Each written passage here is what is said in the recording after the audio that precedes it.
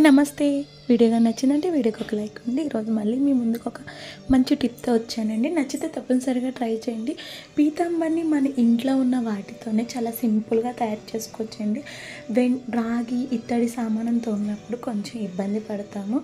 అలా కాకుండా మనము ఎందుకు పనికిరావని పడేసిన వాటిలతోనే ఈరోజైతే నేను పీతాంబర్ని ఎలా తయారు చేసుకోవాలో చెప్తానండి. నచ్చితే తప్పనిసరిగా ట్రై చేయండి. చాలా బాగా వర్కౌట్ అవుతుంది. ఇప్పుడు మనం ఎక్కువ రాగి ఇత్తడి తోమడానికి గంటలు గంటలు కూర్చుంటా. అలా కాకుండా నేను చెప్పిన ఈ చిటిక అయితే చాలా బాగా పనిచేస్తుంది. మీరు ఎక్కువ సోప్ కూడా కూర్చోక్కర్లేదు. ఒక వన్ మినిట్లోనే ఎన్ని పాత్రలైనా చాలా ఈజీగా తోముకోవచ్చు. అంత బాగా వర్కౌట్ అవుతుంది. ఇప్పుడు నేను తోమని చూసారు? ఎంత షైన్ షైనీగా వచ్చింది. మనకి నలుపు అన్నది కూడా రాదు. మినిమం ఒక వన్ వీక్ దాకా మనకి ఇదే కలర్లో ఉంటుంది. అది ఎలా తయారు చేసుకోవాలో చూసేదా ముందుగా నేను నిమ్మకాయలని యూజ్ చేసిన తర్వాత అట్లీ వన్ వీక్ ఎండబెట్టానండి. నిమ్మకాయలు అన్నవి బాగా ఎండాలి. ఎండితేనే మనకి పౌడర్ అన్నది బాగా వస్తుంది. ఈ నిమ్మకాయలు అన్నది మనకి రా- రాగి తోమడానికి చాలా బాగా హెల్ప్ అవుతుంది. ఇప్పుడు వీటిని ఒక మిక్సీ జార్లో వేసుకున్నాను. మిక్సీ జార్లో వేసి కట్ చేయక్కర్లేదు. ఎండిని ఎండినట్టే మిక్సీ జార్లో వేసి మెత్తగా పొడి చేసుకున్నానండి ఇలా పొడి చేసుకున్నా మనకి ఇలా కాంటి ఇలాగా లేకపోతే దీన్ని జల్లించుకోవచ్చు.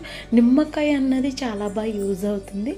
ఇప్పుడు ఇంకొక రెమెడీ వచ్చి నేను బ్రిక్స్ అండి. మనము బ్రిక్స్ వాడిన తర్వాత చిన్న చిన్న పీసెస్ని పాడేస్తాం కదా ఆ బ్రిక్స్ని నేను చితక్ కొట్టేసి మంచిగా పౌడర్ కింద చేసి ఇంకా నలగలేదని మిక్సీలో వేసాను ఇది కూడా మనకి రాగిట్లకి పీతంబరి కన్నా పవర్ఫుల్గా పనిచేస్తుంది. ఇప్పుడు ఇందులోనే మనం ఇందా మిక్సీ చేసి పెట్టుకున్న నిమ్మకాయ పౌడర్ని వేసేవాలి నిమ్మకాయ పౌడర్ని బాగా వేసాం కాబట్టి ఈ నిమ్మకాయ అన్నది మన రాగి ఇడ్లీ మీద ఉన్న నలుపుని చాలా బాగా క్లీన్ చేస్తుందండి.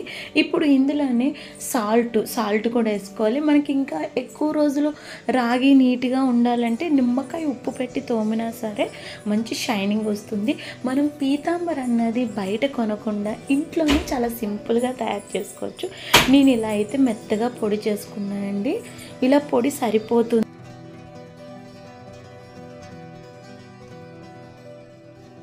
సాఫ్ట్గా అయిపోయింది. నేను ఇప్పుడు దీన్ని ఒక బౌల్లో తీసుకుంటా. మనం ఇలా చేసి పెట్టుకున్నామంటే ఎక్కువ రోజులు ఉంటుంది. ఎందుకంటే మినిమం మనకు ఒక వన్ మంత్ వస్తుంది. మనం పీతాంబరి ఇలాంటివి మనం బయట నుంచి తెచ్చుకున్నప్పుడు అందులో కొంచెం కెమికల్స్ అనేవి ఎక్కువ ఉంటాయి. మనము తాగేవి కదా ఎక్కువగా వాటర్ తాగడానికి గ్లాసెస్ బిందెస్ వాడతాం. అంత మంచివి కాదు. ఇలాంటివే బాగా యూజ్ అవుతుంది. ఇప్పుడు ఈ గ్లాస్ నుంచి చూపిస్తానండి తోమక ముందు ఎలా ఉందో చూసారా? ఇప్పుడు దీన్ని ఒక్క స్పూన్ వేసుకున్నాను. ఈ ఒక్క స్పూన్ స్పూన్తోనే మొత్తం గ్లాస్ అంతా చాలా నీట్. నాకు ఎక్కువ కూడా పడలేదు జస్ట్ కొంచెమే వాడాను దీంట్లో. కానీ మంచి షైనింగ్ అయితే వచ్చింది. అలాగే ఇలాంటి వాడడం వల్ల మనం తాగినప్పుడు కూడా మనకి ఎలాంటి హెల్త్ ఇష్యూస్ రావండి. ఇప్పుడు మీ దగ్గర నిమ్మకాయ యూస్ చేసిన నిమ్మకాయతో కూడా తోమారంటే మంచి షైనింగ్ వస్తుంది. నా దగ్గర ప్రస్తుతం నిమ్మకాయ లేదు. అందుకే నేను స్క్రబ్బర్తో తోమాను. అది తోమికోలే షైనింగ్ వస్తూనే ఉంది. నేను చూపిస్తున్నాను కదండి మీకు.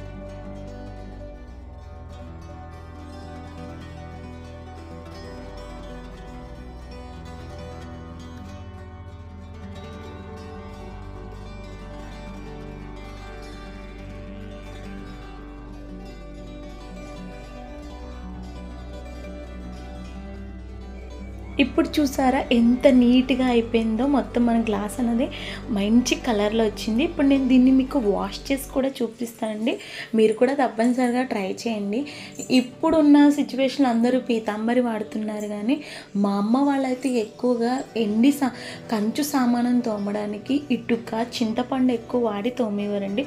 ఆ షైనింగ్ అన్నది కూడా చాలా ఎక్కువ రోజులే ఉండేది. నేను దాన్ని బేసిక్గా తీసుకుని ఈ పీతాంబరిని అయితే తయారు చేశాను. మంచి షై షైనింగ్ వచ్చింది. మనకి నీట్గా కూడా కనిపిస్తుంది. మినిమం ఇది ఒక ఫోర్ ఫైవ్ డేస్ దాకా మనకి షైనింగ్ అన్నది పోదు. ఈరోజు వీడియో అయితే ఇదేనండి. నచ్చిందంటే ఒక లైక్ మాత్రం మర్చిపోకండి. ఎంతో మీకు యూజ్ అయిందంటే మీ ఫ్రెండ్స్ అండ్ ఫ్యామిలీ మెంబర్స్కి షేర్ చేయడం కూడా మర్చిపోకండి. నాకైతే ఈ టిప్ స్పెషల్గా చాలా బాగా నచ్చింది. నేను నా ఇంట్లో ఉన్న రాగి బిందెని ఇట్లతోనే తోముతాను కాబట్టి ఈ వీడియో మీకు ఎంతో కొంత యూజ్ అవుతుందని మీ ముందుకి తీసుకొచ్చాను. వీడియో కానీ నచ్చిందంటే ఒక్క లైక్ ఇవ్వడం మాత్రం మర్చిపోకండి. ఇలాంటి మరెన్నో వీడియోస్ కోసం మా ఛానల్ని సబ్స్క్రైబ్ చేసుకోండి. మరొక మంచి వీడియోతో మీ ముందుకు థ్యాంక్ యూ.